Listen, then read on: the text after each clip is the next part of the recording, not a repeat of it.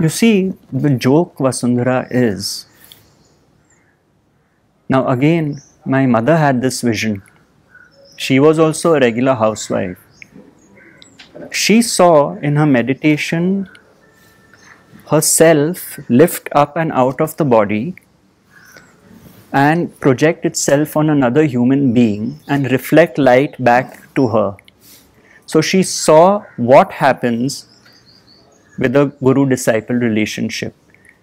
It is one's own self. You think you are choosing someone to be your guru physically, but your own self has projected itself onto a form. In this case, it was her guru, and that guru is speaking back to her, back to the self, the highest truths.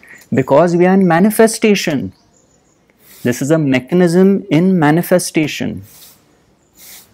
So, who chooses the guru? It is an unconscious act.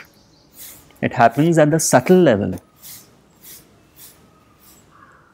That is what happens. She has drawn this. So you truly can't choose a guru. It is a happening. If it is meant to happen, it will happen.